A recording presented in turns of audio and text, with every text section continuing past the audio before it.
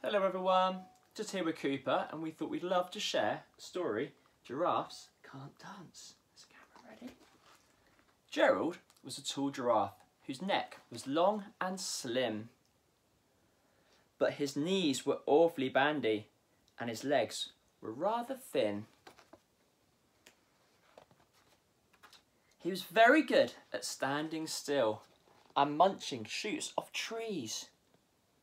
But when he tried to run around, he buckled at the knees. Now, every year in Africa, they hold a jungle dance where every single animal turns up to skip and prance. And this year, when the day arrived, poor Gerald felt so sad because when it came to dancing, he was really very bad. Good dancer, is he? The warthogs started waltzing, and the rhinos rock and rolled. The lions danced a tango, which was elegant and bold. The chimps all did the cha-cha-cha with a very Latin feel. And eight baboons then teamed up for a splendid Scottish reel. Gerald swallowed bravely as he walked towards the floor. But the lions saw him coming and they soon began to roar. Can you give a roar, Cooper? He's been a bit shy. Hey, look at clumsy Gerald! The animals all laughed. Giraffes can't dance, you silly fool. Oh, Gerald, don't be daft. He's going to give Cooper his ball.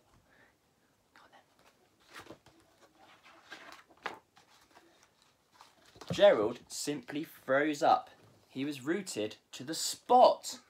They're right, he thought. I'm useless. Oh, I feel like such a clot. So he crept off from the dance floor and he started walking home. He never felt so sad before, so sad and so alone. Then he found a little clearing and he looked up at the sky. The moon can be so beautiful, he whispered with a sigh. Excuse me, coughed a cricket, who'd seen Gerald earlier on, but sometimes, when you're different, you need a different song. Listen to the swaying grass and listen to the trees. To me, the sweetest music is those branches in the breeze. So imagine that that lovely moon is playing just for you. Everything makes music if you really want it to. With that, the cricket smiled and picked up his violin. Then Gerald felt his body do the most amazing thing. His hooves had started shuffling, making circles on the ground. His neck was gently swaying and his tail swishing round. He threw his arms out sideways and he swung them everywhere. Then he did a backward somersault and leapt up in the air. Gerald felt so wonderful. His mouth was open wide. I'm dancing, yes, I'm dancing.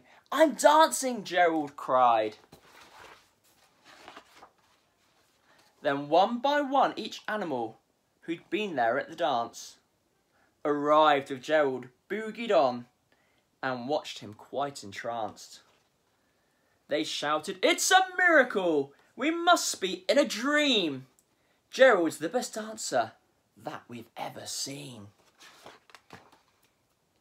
How is it you can dance like that? Please, Gerald, tell us how. But Gerald simply twizzled round and finished with a bow. Then he raised his head and looked up at the moon and stars above. We can all dance, he said, when we find music that we love. The end. Well, I hope you enjoyed it. I think Cooper did as well. And hopefully we'll share another story soon. Bye.